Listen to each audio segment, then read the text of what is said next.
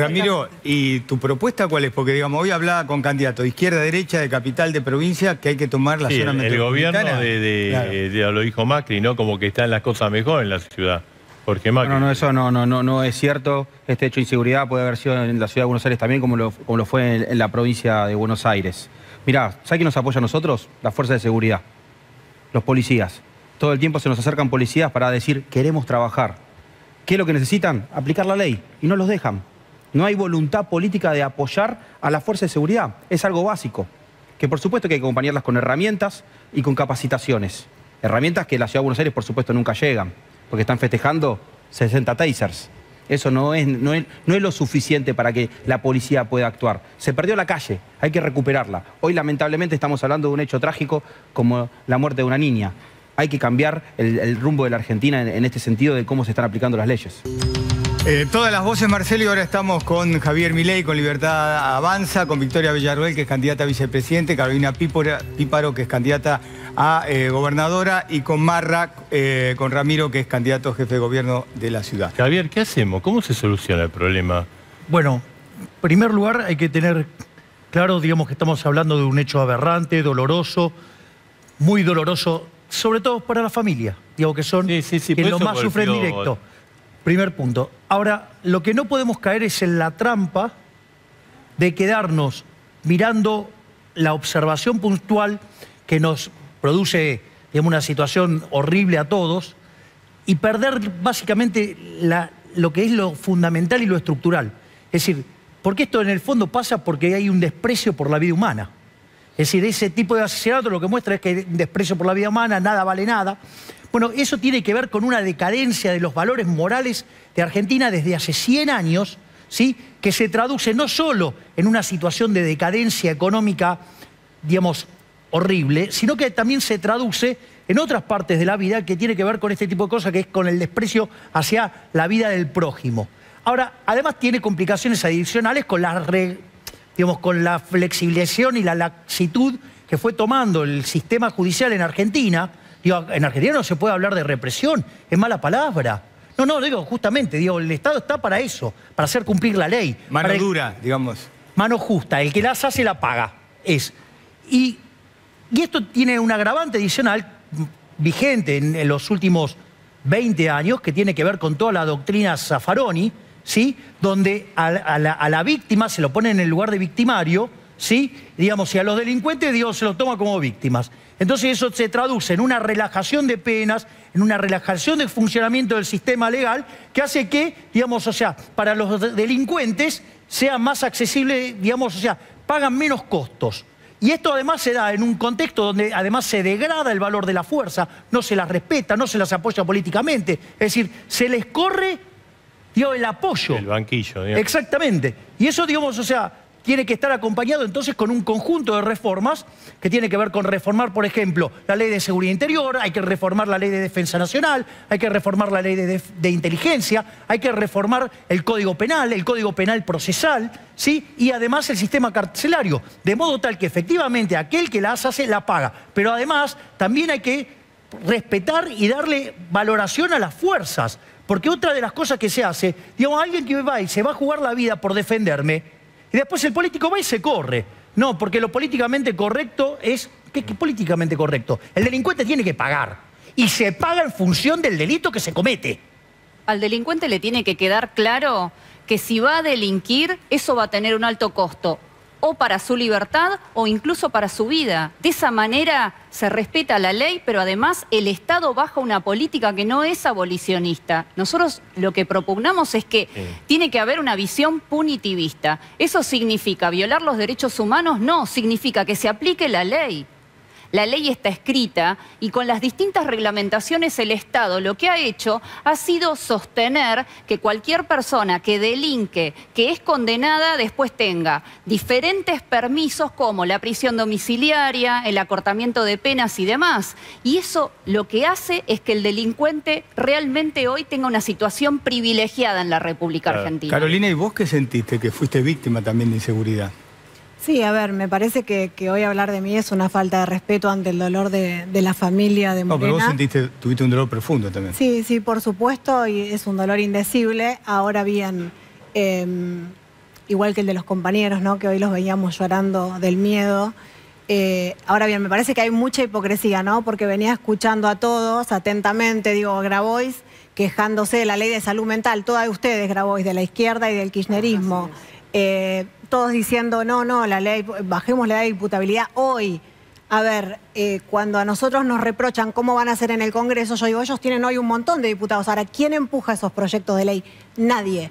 Nadie empuja a bajar la de imputabilidad. Ahora, en la provincia de Buenos Aires hay que decir la verdad, los menores pueden estar encerrados. Existe la peligrosidad, no la quieren asumir, hay menores que son peligrosos, hay mayores que son peligrosos. Ahora, lo que se ha pretendido de 40 años a esta parte es abolir el poder punitivo del Estado. Yo no tengo miedo de decir que en la provincia conmigo va a llegar, sí, la mano dura para los delincuentes, para los corruptos y para los mafiosos. ¿Hay que acercárseles? Sí, hay que acercárseles. ¿Hay que hacer institutos de menores? Sí. ¿Hay que, hay que reformar el código procesal para que los delincuentes se acabe para ellos la puerta giratoria, lo voy a hacer. Y los que no estén de acuerdo con estos temas, que le expliquen a la sociedad por qué no lo están haciendo. Ahora, eh, Javier... Eh, es más, me dejas acotar sobre algo que muy interesante que señaló Carolina. A ver, ¿quiénes son los que están proponiendo las soluciones? Digo, recién todos los que pasaron. Los que son parte del problema. Que son parte del problema. Llevan años Llevan años, son los mismos de siempre. Gente con 30 años, 40 años adentro del Estado. ¿Sí? Dios, son siempre los mismos. Llevan años en el Estado, nunca corrigieron nada. Es decir, la gente tiene que tomar conciencia que es imposible una Argentina distinta con lo mismo de siempre. Es decir, vos no podés, digamos, o sea, corregir algo, digamos, cuando, digo, seguís haciendo lo mismo. No puedes pretender un resultado distinto. Y acá está siempre lo mismo. Y son siempre los mismos los que, y que cuando aparece un hecho se rasgan las vestiduras y se ponen, y digamos, si quieren después le dan asistencia a las víctimas. Todo mentira, porque a los tres días desapareció el tema y se desaparecieron y se... Entonces, ojo con eso. Basta de estos hipócritas que dicen que van a arreglar algo cuando llevan 40 años y no arreglan nada. Ramiro, ¿y tu propuesta cuál es? Porque, digamos, hoy hablaba con candidatos de izquierda, derecha, de capital, de provincia, que hay que tomar la zona el, el gobierno de, lo dijo Macri, ¿no? Como que están las cosas mejor en la ciudad. No, no, eso no, no, no, no es cierto. Este hecho de inseguridad puede haber sido en la ciudad de Buenos Aires también, como lo, como lo fue en, la provincia de Buenos Aires. Mirá, ¿sabe quién nos apoya a nosotros? La fuerza de seguridad, los policías. Todo el tiempo se nos acercan policías para decir, queremos trabajar. ¿Qué es lo que necesitan? Aplicar la ley. Y no los dejan. No hay voluntad política de apoyar a la fuerza de seguridad. Es algo básico. Que por supuesto que hay que acompañarlas con herramientas y con capacitaciones. Herramientas que la Ciudad de Buenos Aires, por supuesto, nunca llegan. Porque están festejando 60 tasers. Eso no es, no, es, no es lo suficiente para que la policía pueda actuar. Se perdió la calle, hay que recuperarla. Hoy lamentablemente estamos hablando de un hecho trágico como la muerte de una niña. Hay que cambiar el, rumbo de la Argentina en, este sentido de cómo se están aplicando las leyes. Le, quería preguntar a Victoria o a Javier, o sea, eh, los eh, presuntos asesinos de la, niña eh, tenían muchos antecedentes, habían estado muchas veces con eh, bajo la idea de ustedes, no tendría que estar en libertad.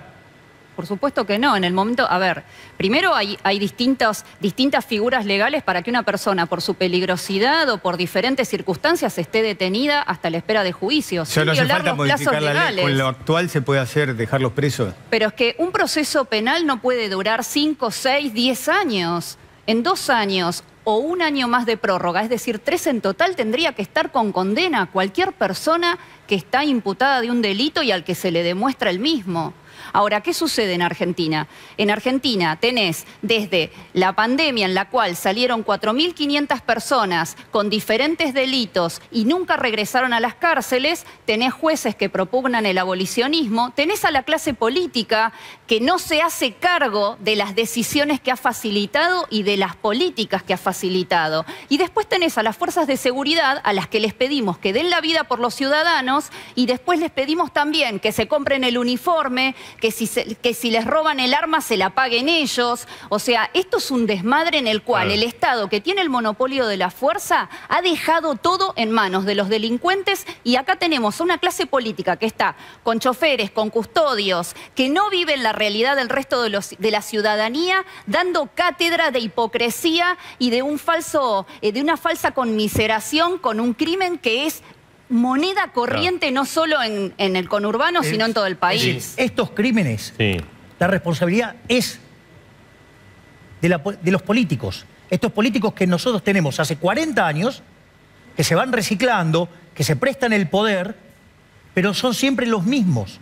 Entonces, ellos son los responsables de esto. Es decir, cualquier cosa que vengan a proponer es un acto de hipocresía. Y además, o, o acá hay algún problema, o tienen un problema de disonancia cognitiva, que no entienden la relación causa-efecto entre las cosas que proponen y los resultados, digo, lo cual sería grave, y o son unos hipócritas mentirosos y que en realidad, digamos, les gusta hacerle juego a los delincuentes porque y, eh, entre bomberos no se van a estar pisando la A- manguera. Ahora, eh, Javier, eh, Carolina dijo, no, yo no tengo problema de decir que sí, que si eh, me eligen gobernadora voy a aplicar mano dura, ¿no? Con la ley a la mano, exactamente. Claro. No ¿Y qué tengo, es eso? No ¿Qué tengo es eso? problema. Eso? es, por ejemplo, reformar el código procesal para que una persona no solamente quede detenida, no quede detenida porque no puede entorpecer la causa o riesgo de fuga, que quede detenida porque delinquió dos, tres veces. ¿Qué le indica a jueces y fiscales que la sexta, la séptima no va a disparar o no va a matar a una morena de 11 años?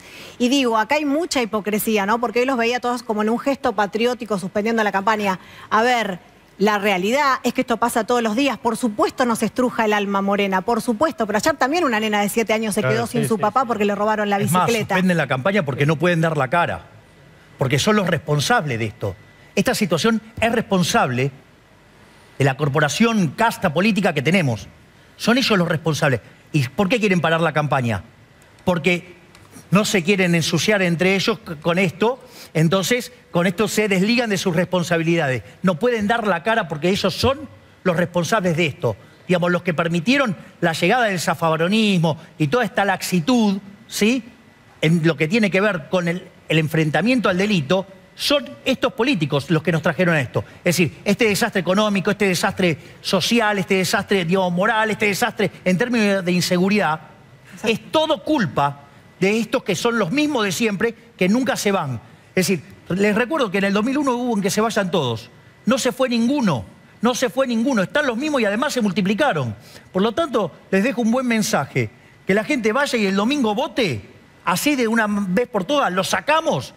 Y digamos, si venimos los outsiders a tratar de poner las cosas como corresponden, a poner a la Argentina de pie, digamos, no solo en el plano económico, sino en el plano social y en el plano de la justicia y tener una Argentina respetable que de acá a 25, 35, 50 años sea una potencia mundial. Eh, gracias, Gracias, eh, gracias doctor, por, gracias. por estar esta noche y vamos a estar en contacto el domingo, me imagino. Sí, obvio.